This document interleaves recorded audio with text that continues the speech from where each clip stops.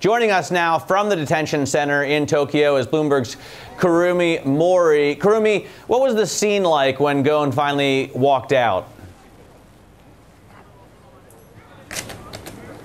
Yeah, Carlos Ghosn is finally out on bail after 108 days of being held at the Tokyo detention house behind me. And when he came out, we've been waiting all day, all morning for this this event. And when he came out, the cameras almost missed it because he came out with a group of police personnel wearing similar colored dark outfit in a orange vest, a face mask, a light blue baseball cap, and and glasses. So somewhat of a disguise. And he walked into the van and it drove off. Behind that van was another black car, and it carried uh, some of the futon mattresses from what it looked like, along with some black bags, which may be his belongings. And presumably now he is with his family at the comfort of a, of a residence somewhere in Japan.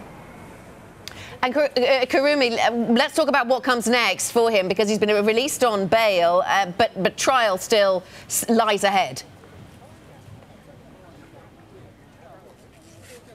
Right, that's right. The trial is likely months away, and because of that, his, his bail has many strict conditions, and that includes uh, cameras to be installed at the exit and entrance of his residence. He also can have no internet access and limited access to a cell phone. He also can have no contact with any parties associated associated with this case, and he cannot leave Japan.